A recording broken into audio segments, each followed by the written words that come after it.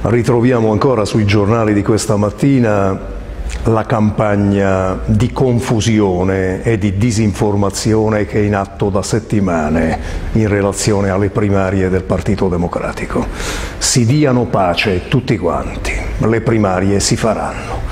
Ci sono domande alle quali nessuno potrà sfuggire, e cioè chi è in grado di governare questa regione chi è in grado di affrontare e risolvere i problemi della sanità e dei trasporti, chi è in grado di andare nella terra dei fuochi e dire si risolve la tragedia ambientale avendo la credibilità per dirlo, poiché già ha dimostrato di saper risolvere i problemi dell'ambiente.